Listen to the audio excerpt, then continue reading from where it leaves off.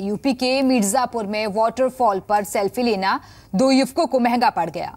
Selfie लेने के चक्कर में दोनों युवक पहाड़ी से नीचे गिर गए। हादसे में एक की मौत हो गई, जबकि एक ज़िंदगी और मौत से जंग लड़ रहा है। सवाल ये कि आखिर सेल्फी का ऐसा क्या जुनून जो जान पर भारी पड़ जाए?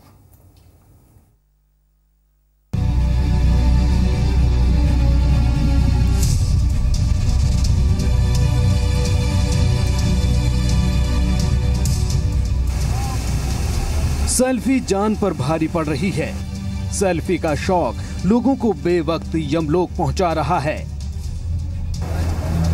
ज़मीन पर पड़ी ये लाश इसकी तस्दीक करती है। वाटरफॉल पर सेल्फी लेने के शौक ने इस नौजवान को ऐसा अंधा किया कि वो उस खतरे को भी नजरअंदाज कर गया, जिसने इसकी किस्मत में मौत की इबारत लिख दी। सेल्फी के चक्कर में इस नौजवान के साथ जो हुआ, वो रोंगटे खड़े करने वाला है। यूपी के मिर्जापुर के लालगंज थाना इलाके में फ़ेमस टांडा वाटरफॉल है। यहाँ बरसात के दिनों में सैलानियों की तादाद और बढ़ जाती है। यूपी के वाराणसी और भदोही से दो दोस्त वाटरफॉल पर पिकनिक मनाने आए थे। पिकनिक के दौरान एक दोस्त पहाड़ पर खड़ा होकर वाटरफॉल के साथ सेल्फी लेने लगा। इसी दौरान उसका पैर फिसला और वो नीचे जा गिरा जबकि दूसरा दोस्त उसे बचाने के चक्कर में गंभीर रूप से घायल हो गया। और ये टांडा जगह लोग आए हैं पिकनिक स्पॉट पे और मस्ती करने के लिए लोग आते हैं। तो यहाँ पे दो युवक थे तो एक सेल्फी ले रहा था। सेल्फी लेने के चक्कर में उसका पैर ऊँचा फिसला या जो भी है पैर ही फिसल गया बंदा चला गया नीचे पानी में। और दूसरा उसका जो दोस्त था उसको बचाने के चक्कर में उसको पकड़ने की कोशिश किया। तो जो पहला बंदा जो गिरा था, उसका तो मौके पे ही मौत हो गया। दूसरा को बिल्कुल पैर में चोट आ गया, वो भी गंभीर रूप से घायल है।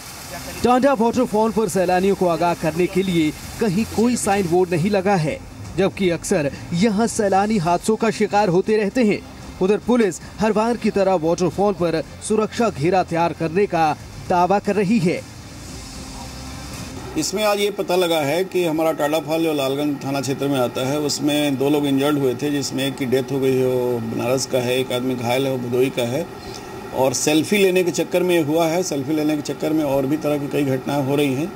तो इस पर जल्दी से जल्दी ध्यान दिया जाएगा कि वहाँ कैसे इसको रोका जाए, इस पर एक मीटिंग बुला करके और सुरक्षा व्यवस्था तत्काल सुनिश्चित की जाएगी। उधर पिछले 45 दिनों में करीब छह लोग सेल्फी के चक्कर में यहाँ जान गंवा चुके हैं। सवाल उठता है कि आखिर क्यों लोग सेल्फी के लिए इतने अंधे हो जाते हैं कि अपनी जान तक को दांव पर लगाने से नहीं चूकते? आखिर ये कैसा अंधा जुनून है?